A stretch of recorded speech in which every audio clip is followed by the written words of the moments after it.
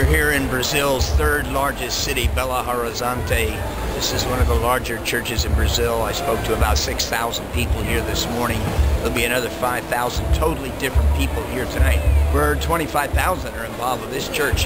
That's what God has been doing in Brazil, mainly in the last 50 years. I've had the joy of praying for this country for 48 years. Now we're seeing a lot of Brazilians join OM. We need your prayers. A lot more want to join than we have money pray for the release of money for Brazilian workers into the harvest field, even the Muslim world.